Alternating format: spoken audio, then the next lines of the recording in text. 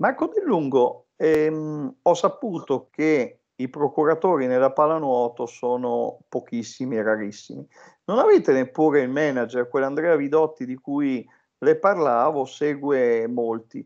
Um, anni fa, per Stile, il mensile del giornale, all'epoca Style, oggi Stile, intervistai parecchi personaggi e spesso, varie volte, mi interfacciai con DAO, DAO Management, insomma anche solo la mail è cambiata negli anni. Um, forse sbaglio, ma potrei dire che Tempesti secondo me era in quel circuito. Non che lo intervistai tramite loro, ma magari vidi su internet. Lei ad esempio è seguito da qualcuno, um, come dire, fuori dall'acqua o, o stop proprio, fa da solo? No, no, io sono procuratore di me stesso. Ma quindi anche, ma non mi dica che nessuno mai le si è avvicinato per dirle... Certo, ma... certo. Ah, ok, ok. Stati. Ah, però... Okay. però preferisce fare da solo. Sì, sì, sì.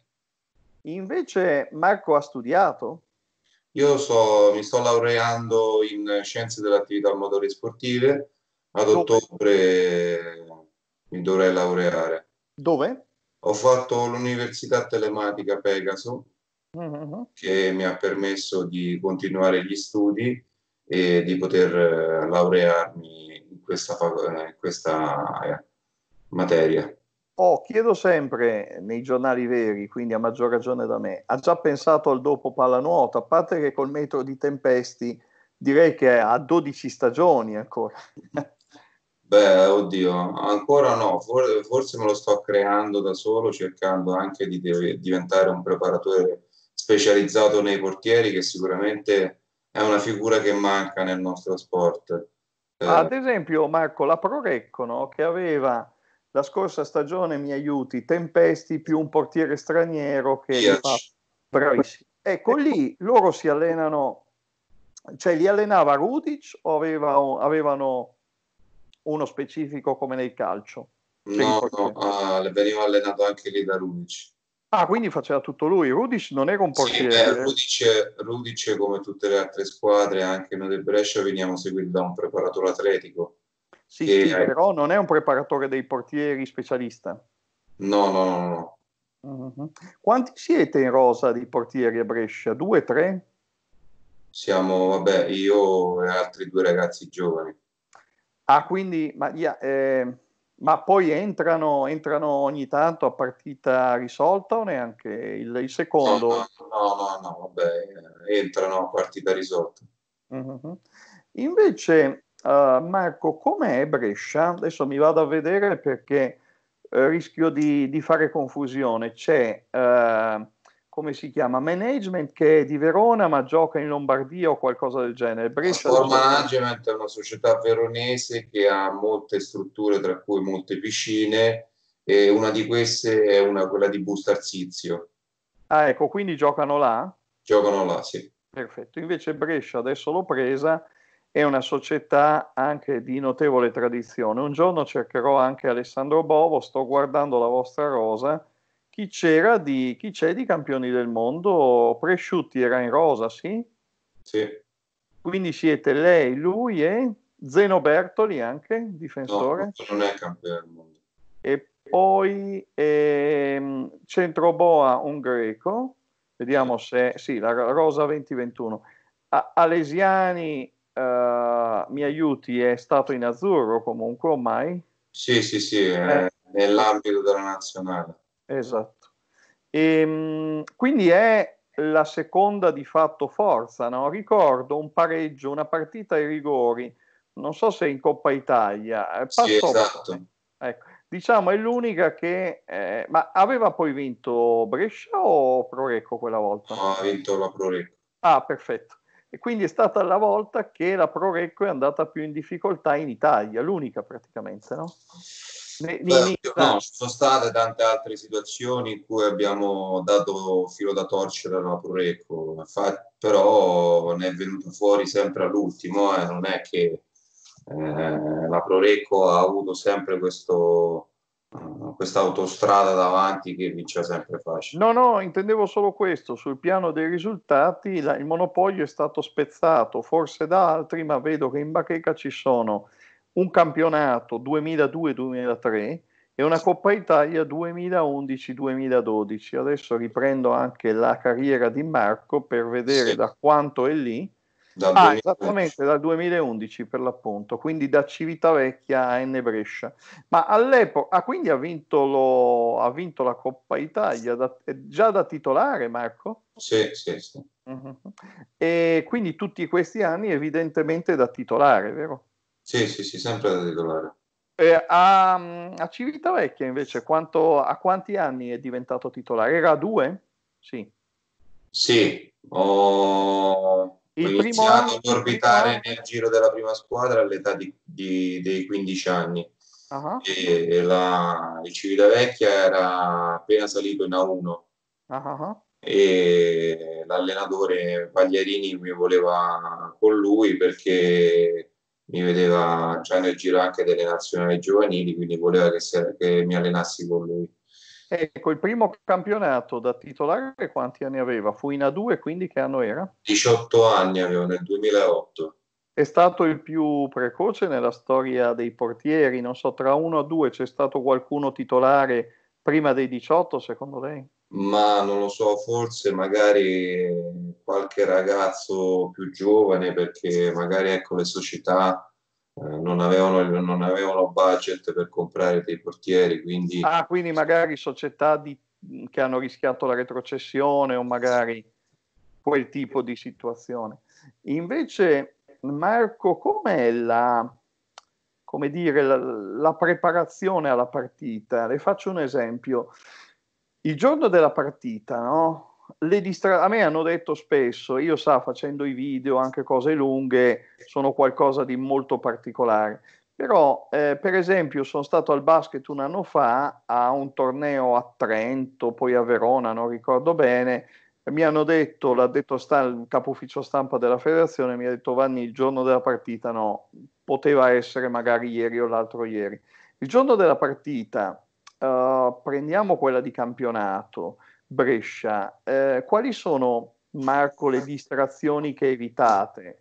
Che so, uh, quindi c'è il rito, ma per esempio al mattino se giocate in casa, no? Quindi a Brescia, eh, voi non andate in ritiro, lei fa colazione a casa.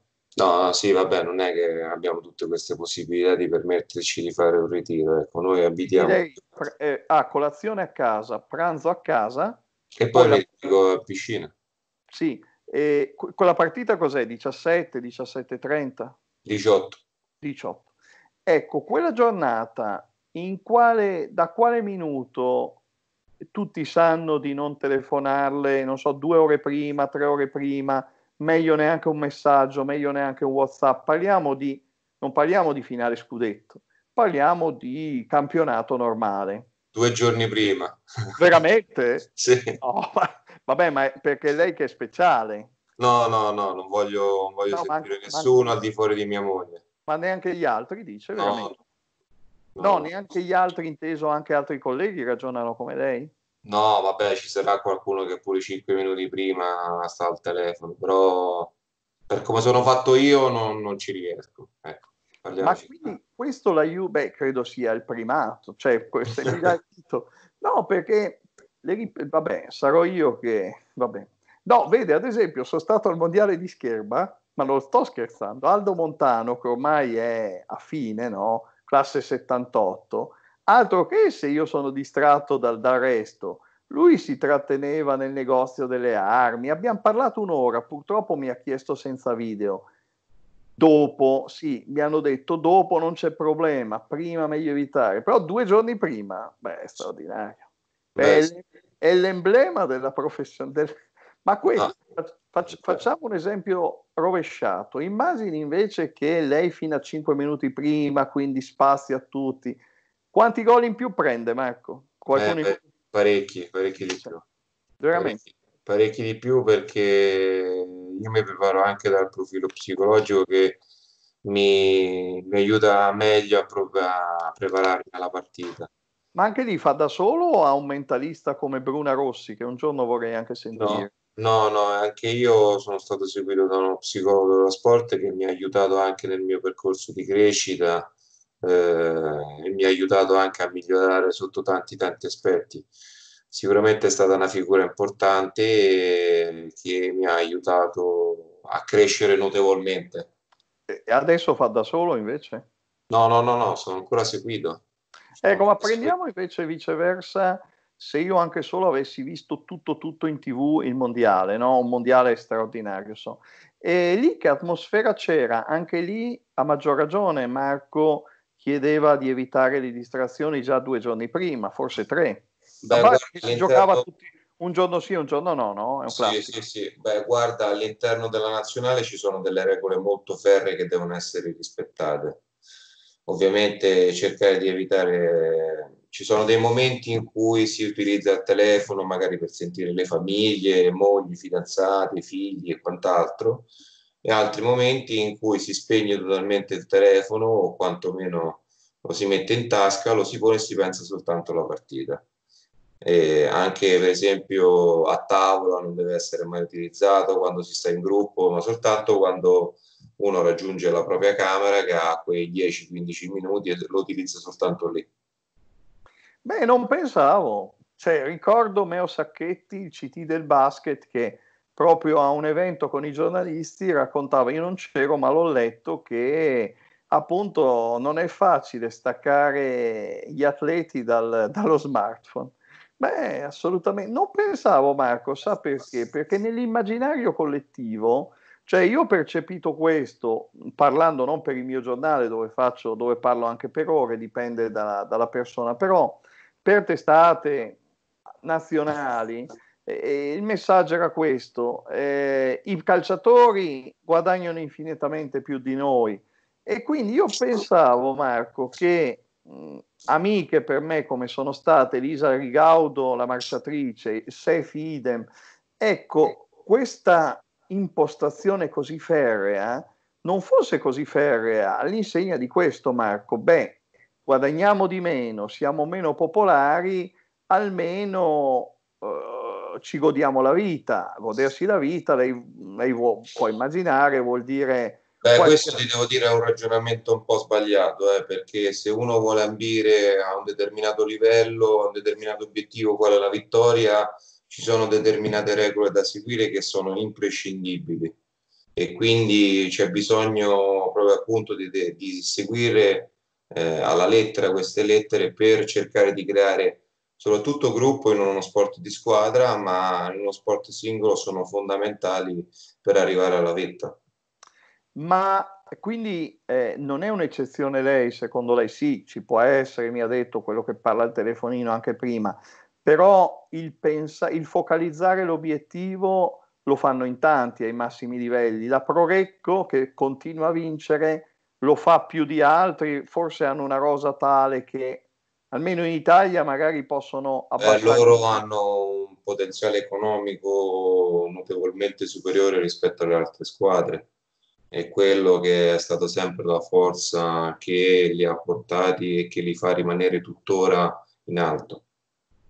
In Serie A, Marco Del Lungo, fra i titolari o fra le rose, non le chiedo magari il nome e cognome, però c'è una, ci sono non, non, professionisti, ovvero studiare un conto, un lavoro manuale è un altro. Io quando Umberto Panerai mi ha spiegato che è sempre stato, eh, aveva un negozio della Piaggio, non ricordo bene perché non l'ho riascoltato, quasi non ci credevo, ma non un anno, due, ma sempre. Eh, quando Lilli Bernardi del volley anni 80, eh, la Teodora Ravenna vinse 11 Champions League, Coppa dei Campioni, ma lei ha sempre fatto un altro lavoro, lavorava da spedizioniera, dove lavora tuttora, eh, faceva, non so se contabilità, non ricordo bene. E oggi ehm, i primi sette di tutta la Serie A al massimo studiano? Al massimo studiano, sì. In A2? In A2 già, ma già le squadre che lottano per la salvezza ci sono già giocatori che fanno la doppia professione. Macchina 1? Sì, sì. Ma tanto, tanto più tra il nono, decimo, undicesimo, quelli che giocano sì, poco. Sì, appunto quelli che lottano per la salvezza. Ma c'è una professione, senza magari dire, come dire, per rispettare non dico la privacy, ma insomma per evitare di, mm, come dire, una nota stonata da parte nostra. Non c'è una professione curiosa, per curiosa intendo molto distante. Per esempio, io sono figlio di contadini, eh, l'agricoltura è bellissima, eh, adesso la rivaluto, quando ero bambino io me ne vergognavo, dico non c'è una professione molto distante, che so, l'elettrauto, l'elettricio, un qualcosa di molto molto lontano, non le viene in mente nessuno Marco. Ah, che io sappia no. E comunque, comunque i più studiano dunque come lei. Sì, sì, sì, più studiano e cercano di crearsi magari un futuro diverso da quello del mondo sportivo, chi studia giurisprudenza, chi studia economia e commercio, chi addirittura ha intrapreso strade diverse come per esempio quelle della medicina, quindi ci sono tanti e tanti ambiti che i pallonodisti hanno seguito per cercare un futuro perché ovviamente sappiamo che lo sport arriverà alla fine nel nostro arco della vita, quindi cercano di eh, ottenere un'altra strada prima. Prima Marco De Lungo ho passato un'ora con Franco Bertoli, l'ex mano di pietra del volley, e abbiamo dedicato un passaggio al libro di Chiellini che ha, non ha parlato in termini positivi per essere leggeri di Balotelli, ancor meno di Felipe Melo e, e stanotte è uscita una roba su un'anticipazione che riguarda Vidal. Um, nel vostro mondo non ci sono queste divagazioni, inteso Vidal che ha lobby della bottiglia, quindi degli alcolici, e adesso non ricordo perché non ho approfondito, non so perché Felipe Melo sia il peggio del peggio, comunque insomma sono parole forti. Ehm, dico, nel vostro ambiente eh, ci sono, cioè, c'è magari uno che potrebbe saltare fuori sul finire della carriera e scrivere un libro di fatto evidenziando i talloni d'Achille degli, ex, degli amici, dei colleghi. Ma a me non ha fatto impazzire questa cosa, perché con lo stesso metro, vabbè, Chiellini è ancora l'apice. Io potrei fare un libro dove dire io che ho lavorato, ancorché in remoto, con X giornalisti, capi servizio, vi, racco- vi rivelo la vera faccia di... Credo sarebbe un pizzichino meschino da parte mia, però lasciamo stare. E, ehm, mh, dico, il vostro quindi è un ambiente senza queste distrazioni così, insomma, il, il Vidal bevitore Vabbè, di alcol. Per carità, non è che noi siamo, anche noi siamo perfetti, eh. magari ecco, una bottiglia di vino ce la facciamo, eh. non è che è quello, però non è che andiamo No, ma credo fuori... che fossero gli alcolici, alcolici, adesso non so bene, però insomma la risposta di Vidal è stata eh, guarda se vieni con me stasera vedi il mio segreto, quindi lui beveva, lui ha bevuto quattro gin tonic chiellini lisci, ma poi ha vomitato. Io che ho la gastrite, appena lo metto in bocca ehm, sarei in difficoltà, però insomma il, no, il superalco- l'alcolico è una roba diversa, insomma. Ma, ad esempio il terzo tempo c'è nel, nella pallanuoto, con gli avversari, con i tifosi, come nel rugby o no? No, no, assolutamente no. Ma voi andate a casa a cena, andate in pizza, dipende se vincete o se perdete, come fate di solito? Ma no, no, dipende da, dalla persona di per sé e, e come è abituato anche a reagire. Marco mi eh, indica i papà quella notte a, a Genova o a Bologna, non ricordo bene, io vidi la famiglia Tempesti, quindi c'era la moglie con, non so se fosse figlia o figlio, non ricordo. Quanti degli azzurri, degli ex, ancora in attività, sono papà? Chi le viene in mente? Tanti? No, se sono tanti no. Se sono... Beh, no, sono, sono tanti ancora. Sì? Sì, sì? Quindi è diverso magari tra le atlete, tra le azzurre e le mamme, forse nessuna, vero? Beh, sì, sì, secondo me è un po' più difficile essere mamma che essere papà perché il bambino o bambina ha un contatto molto più diretto con, con la madre, soprattutto i primi mesi di vita del bambino, quindi porta un allontanamento dal mondo sportivo. Eh, per il papà posso dire che è un po' più semplice. E invece lì a Brescia abita da solo Marco? È con la con mia moglie. Ah, è sposato quindi? Sì, sì, sì. Da quanti anni? Sono due, no tre scusa, quest'anno tre. E mi raccontava un caro amico con me ospite in tv a Teleducato Piacenza un po' di anni fa, Patrizio Bonafè per un mensile, forse proprio stile del giornale, style del giornale, all'epoca mia, quindi anni 70, le società sportive consigliavano agli sportivi di sposarsi per appunto limitare le, le divagazioni, insomma l'attenzione alla ricerca, alle avventure, eccetera, eccetera. Nella pallanuoto avviene o avveniva questo? Nessuno l'ha, l'ha, incitata a mettere la testa a posto, insomma, a velocizzare il matrimonio, a stabilizzare le storie? Ma assolutamente no. Uno se lo deve sentire, appunto, deve trovare una persona giusta che eh, sia al fianco del giocatore perché la vita dello sportivo non è una vita semplice perché è condizionata da, da tanti problemi e soprattutto da grande stress.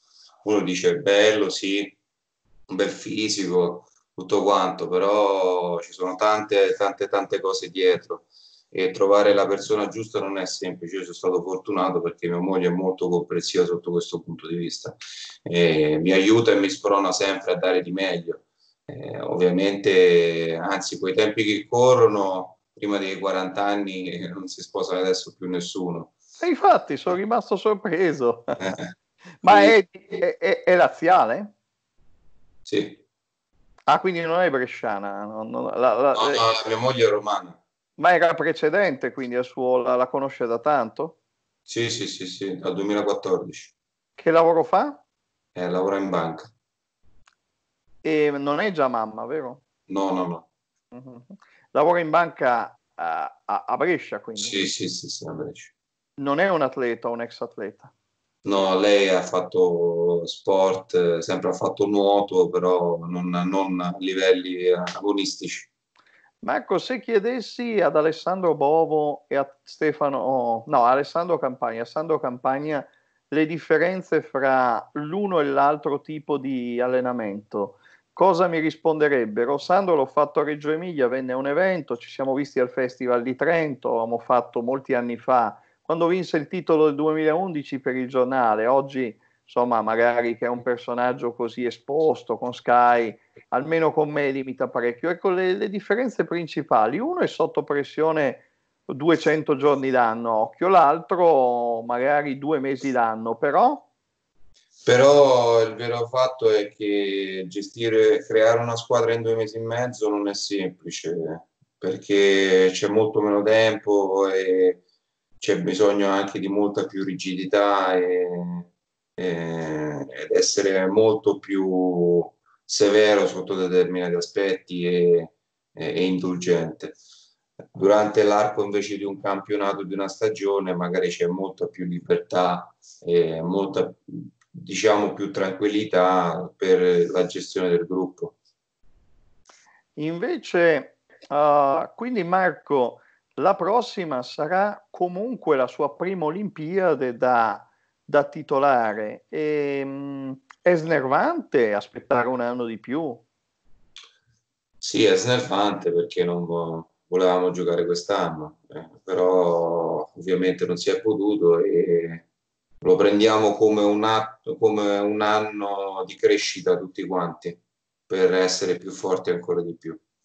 Quando è che avete temuto, fino a quando avete sperato che ci fossero state? Una settimana prima del pronunciamento? Beh, fino a quando, eh, fino a quando non sia stato detto, perché ovviamente uno spera che una cosa non, non venga mai sospesa o, o, rimandata in questo caso, perché uno si allena quattro anni e poi dopo la si vede rinviata di un anno e dice cavolo però vabbè, purtroppo è andata così, bisogna andare avanti. Marco, mi aiuti? Eh, c'è stata la Coppa Italia già quest'anno? No, purtroppo doveva ah, essere fatta... un anno senza nulla proprio. Sì, senza pur... un solo trofeo, zero titoli avrebbe detto sì. Mourinho. Mourinho, sì. Fantastico. Senta, ma non sarebbe bello anche solo dare il titolo, eh, cristallizzare la classifica? Intanto ci sono retrocessioni, com'è finita? No, non sono state bloccate le retrocessioni, nessuna assegnazione di nessun titolo. Ma e le promozioni non si fanno? No, purtroppo no, sono state bloccate ah. anche quelle. Beh, anche, anche quelli. Direbbero a Roma poracci, no? Perché il trofeo è un conto, però lavori un anno. Chi è che era primo in A2, Marco? Girone nord la Metanopoli e penso per il girone sud dei A2 c'era o Anzio Latina con Catania. Metanopoli di dov'è, mi perdoni? Eh, San Don- eh, Milano. San Donato milanese? San Donato, sì. Ah. Invece il, il, campionato italiano è il più bello del mondo, è il più, posso dire, ha le stelle migliori. Eh, io ho discettato spesso anni fa di volley con non c'è più adesso Bebeto, l'ex CT. Un giorno mi telefonò quando l'Italia andò male di Beruto al mondiale e mi disse: Ma io vorrei capire cosa è successo perché mi continuava a ripetere. Era l'NBA del volley mondiali. C'erano il primo, il secondo e il terzo testetto di tante nazionali. Vorrei... Il, eh, qual è il miglior campionato? Non credo l'Ungheria o la Grecia. No, eh, però devo darti contro perché negli ultimi anni è stato... Solo l'Ungheria e la Grecia? Sì? No, no, greco... No, no, la Spagna.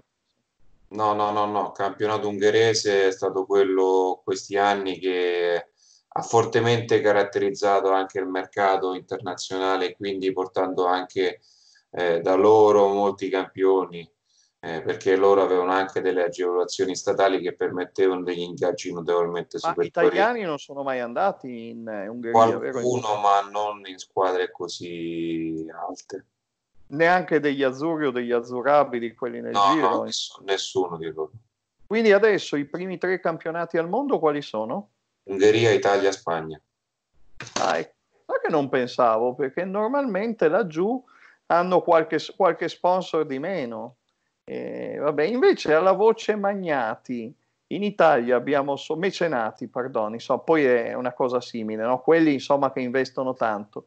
Gabriele Volpi di sicuro, ma altri che mettono i soldi loro perché sa, eh, ci sono polisportive o cose diverse in cui mettono i soldi in 28. La Virtus Bologna, ad esempio, anni fa, il Bologna prima di Joy Saputo. Chi, è, chi sono i più eh, generosi, eh, proprio i singoli o le famiglie oggi? A Brescia Solo lui? la famiglia Bonometti che... Ah, Beh. è quella del basket anche o, o, o, sbaglio? No, forse sbaglio. Cos'è Acciaierie Bono, Bonometti? Mi no, Officine Meccaniche Rezzatesi. Perfetto. Che, che, altro sport fanno? Solo il vostro? No, fanno la Formula 1 anche. Ah, è, mi scusi. È la, la sponsor della Ferrari. Ma co- il marchio qual è? OMR. OMR. Beh, eh, siamo a 100 km da Reggio, ma le confesso, eppure io seguo tanto. Eh. Seguono anche il calcio e la pallacanestro, un sacco di sport a livello cittadino bresciano. Quindi... Esatto, quello, ma il Bonometti è il finanziatore anche del basket La Leonessa? No, sì, sì, in parte, non, eh. è, non, è, il main sponsor. Beh, vabbè, vabbè, ma non è come dire in società, però, vero? No, no, no, no. Qualcuno mi pareva che me l'avesse